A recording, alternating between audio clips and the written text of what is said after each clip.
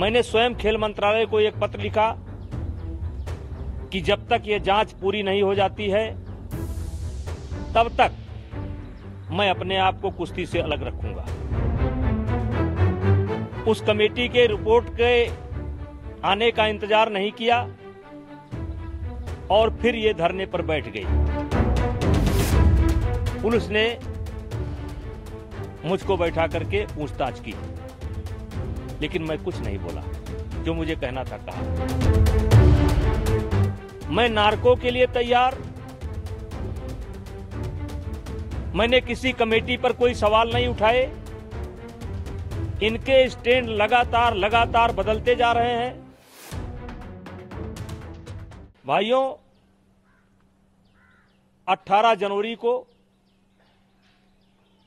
ये खिलाड़ी कुछ मुद्दों के लेकर के धरने पर बैठे। खेल मंत्रालय ने, मैंने स्वयं खेल मंत्रालय को एक पत्र लिखा कि जब तक ये जाँच पूरी नहीं हो जाती है, तब तक मैं अपने आप को कुश्ती से अलग रखूँगा। एक जाँच कमेटी खेल मंत्रालय के नेतृत्व में बनती है और एक ओलंपिक के नेतृत्व में बनती है। इन खिलाड़ियों ने उस कमेटी के रिपोर्ट के आने का इंतज़ार नहीं किया और फिर ये धरने पर बैठ गए सुप्रीम कोर्ट के हस्तक्षेप के बाद मेरे ऊपर एफआईआर लिखी गई। मैं कुछ नहीं बोला। छह छह घंटे लगातार पुलिस ने मुझको बैठा करके पूछताछ की, लेकिन मैं कुछ नहीं बोला। जो मुझे कहना था, कहा। इन्हीं खिलाड़ियों ने लगातार ये नार्को टेस्ट की मांग कर रहे थे। मैं शुरू में बोलना नहीं चाहता था, लेकिन जब हमारे बुज़ुर्ग जो हरियाणा के हैं, जो खाप पंचायत के सदस्य हैं जब मैंने देखा कि बुज़ुर्गों ने भी ये बात उठाई कि ब्रजभूषण सिंह का नार्को टेस्ट होना चाहिए तो मैंने उन बुज़ुर्गों के सम्मान में, उनका सम्मान करते हुए मैंने कहा कि मैं नार्को टेस्ट के लिए तैयार हूँ। मैं कहना चाहता हूँ कि अब मैं क्या करूँ? मैं जाँच के लिए तैयार मैं नार्को के लिए तैयार। मैंने किसी कमेटी पर कोई सवाल नहीं उठाए। इनके स्टैंड लगातार लगातार बदलते जा रहे हैं। और मुझे न्यायालय पर भरोसा है, दिल्ली पुलिस की जाँच पर भरोसा है। और हम कहना चाहते हैं कि प्रत्येक देशवासी को हमारी न्यायिक प्रक्रिया जो है उस पर भरोसा करना चाहिए। ये संक्षेप में मैंने ये बात इसलिए कही, कहने की कोई आवश्यकता नहीं महसूस करता था, लेकिन इसलिए कही कि जब आज देश को नई पार्लियामेंट मिलने जा रही है, क्योंकि इसकी ज़रूरत थी। और ज़रूरत के हिसाब से यह पार्लियामेंट बनाई गई।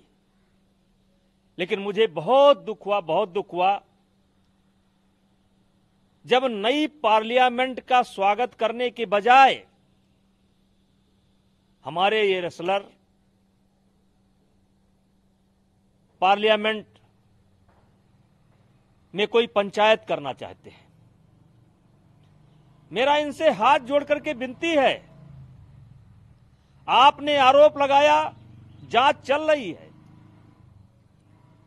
आपने एफआईआर लिखाया, जाँच चल रही है। लेकिन ये शोभा नहीं देता है। तो मेरी विनती है कि आप मुझको गाली दीजिए। अगर दिल्ली पुलिस के जाँच पर भरोसा नहीं है तो जो भी जाँच करवाना चाहिए वो करवाइए, उसके लिए हम तैयार हैं। मेरा जो भी आरोप, प्रत्यारोप आप करना चाहें, करें। लेकिन आप भी जानते हैं, और पूरा देश जानता है, कि कुश्ती के लिए मैंने क्या क्या नहीं किया। जिस समय कुश्ती का मैं अध्यक्ष बना था, उस समय केवल तीन टूर्नामेंट होते थे, तीन नेशनल होते थे पिछले वर्ष आप भी लड़े हैं, आप भी आए थे 25 नेशनल हमने कराए हैं। एक नेशनल कराने में कम से कम 50 लाख रुपए का खर्चा आता है। और बिना किसी सरकारी सहयोग के 25-25 नेशनल करा देना, ये कोई मामूली बात नहीं है।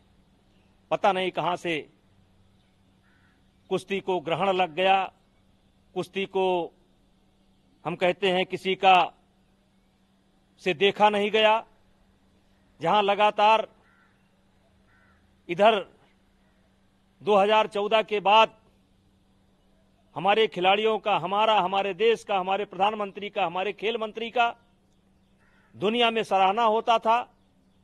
दुनिया हमारे प्रगति से, मैं कुश्ती प्रेमियों से कहना चाहता हूँ, दुनिया हमारे प्रगति से अचंभित थी। ये क्या हो गया? कि जहाँ हम 15 नंबर पर 16 नंबर पर रहते थे, आज लड़कियाँ हमारी चैंपियनशिप लेकर के आ रही हैं।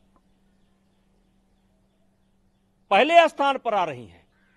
आज हमारी लड़कियाँ जापान की लड़कियों को हरा रही हैं। ये किसकी नज़र लग गई?